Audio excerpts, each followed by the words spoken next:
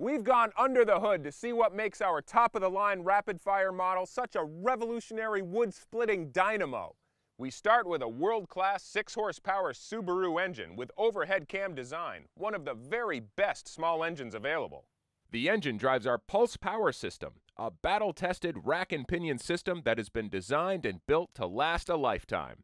The massive cast iron flywheels are spun at 400 RPM, storing a tremendous amount of energy. When you're ready to split a log, this power plant converts all that stored energy into a sudden burst that will split any piece of wood you put in its path.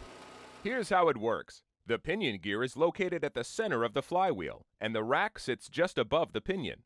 When you engage the cam lever to split a log, the rack is pushed down into the machine teeth of the pinion gear. This launches the rack at high velocity, firing the log into the cutting knife. The log just doesn't have a chance. Let's take a closer look at the pinion gear.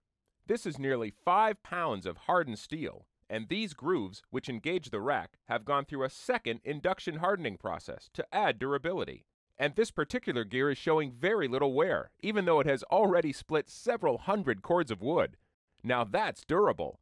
The Pulse Power System, which consists of the flywheel, pinion gear, and rack, is the heart and soul of the DR Rapid Fire. And we guarantee it for two years of unlimited use, even in commercial operation.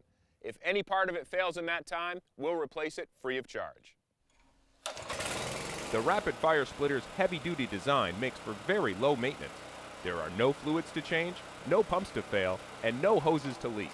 And the mechanics put very little stress on the engine. The DR Rapid Fire is built for power and it's built to last.